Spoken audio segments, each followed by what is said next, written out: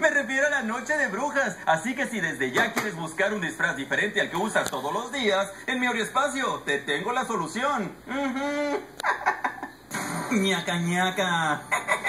¿Ya tienes listo tu disfraz para este Halloween? ¿Tú quieres ser vampira? Sí. ¿Te gusta chupar? Porque las vampiras chupan sangre, ¿no? Sí. Pero tú no. No. Vas a ser buena. Vampira buena. Bueno.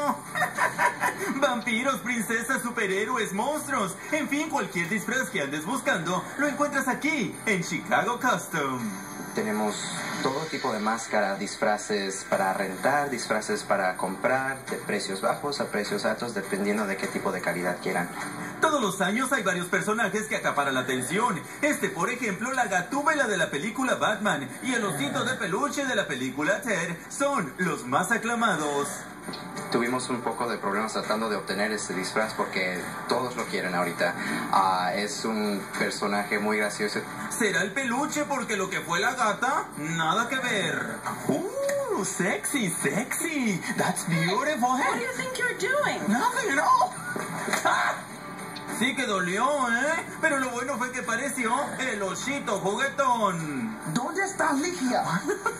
Ligia, el peluchito te ando buscando. Mira, ¿te lo llevo?